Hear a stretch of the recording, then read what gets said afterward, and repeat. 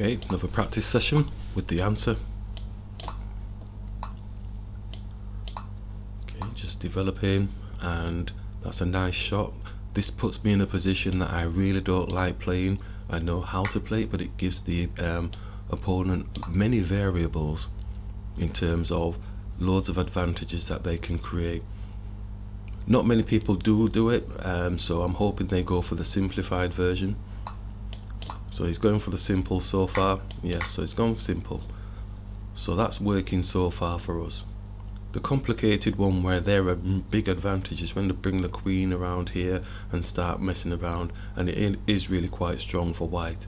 So it's a terrible, terrible opening type position play for black.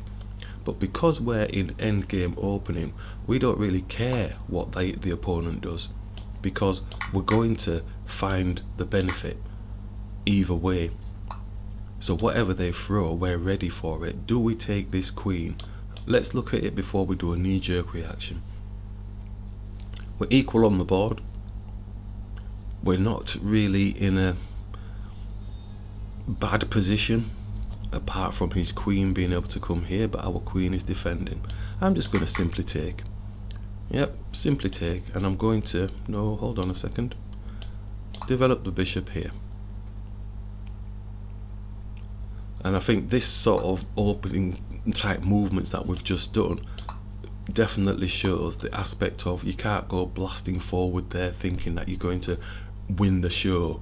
You've got to really use basic good quality chess moves good foundation to then really go with a full on end game opening. To bring the knight off of the edge going to capture putting pressure onto his. Let's just capture. So this is all getting simplified down. His bishop's tied to this pawn so he's gonna have to bring that one down. So bring the rook across in the center here. So everything's all fine and dandy. Just push this pawn here because he's looking to do a stealth attack. And this is basically like a, a drawn position if you like. Yep so how do we make it not a drawn position? Just put these onto white squares. It's attacking our bishop, looking to close it down. Could stay onto this side here, just as a little bit of a guarder, because he's going to have to move these pawns at some stage. So I'm going to bring this down. Can expect that his pawn's going to come pushing down onto where, onto there, but that will then open up his king area if he does do that. Okay, so where do we go from here? We could just push this pawn here. His king's on this side. We could push the pawn onto his pawn. I think he will take. Yep, so could grab. Or we could take with the bishop and be on his bishop. Let's go be on his bishop. Keep it simple. His king's further advanced down the board, so he's feeling champion. Yep, let's just push here the further down they gravitate let's see. Simple again. Just capture. And his king is right down at the bottom. So we've got two pawns now that we can actually go and grab. So it was almost like a little trick that we played on the opponent.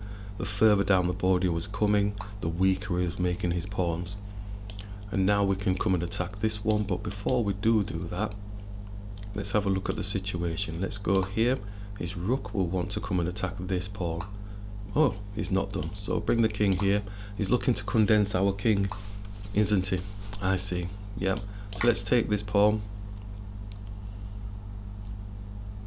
Or maybe they, I don't know, do they feel they may have lost the thread a little bit now?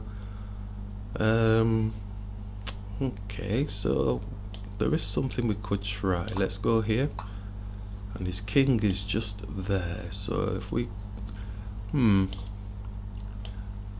just push the pawn. I think you can see what I'm trying to attempt to do. If I move my king up while he's thinking, I'm just thinking potentially coming here, but his king can come to this square. Yeah, I thought it was going to be a little bit of a checkmate, uh, but it's not. So now he can put pressure onto our king. And that's not what we want. So I'm going to put pressure on his king by putting a check here and then putting a check here and then taking this pawn off the board So it's going to get our pawn down the far side. So it's coming around the back to put a checkmate on me. How dare he? So let's move here. Not too concerned about these pawns, bless them. If he's going to take the rook off, then he will basically be losing. So we'll go here and come across. And now he's coming for the pawn, which we can defend now. So he'll probably come behind this pawn here. Just bring the king up. Maybe bring it across.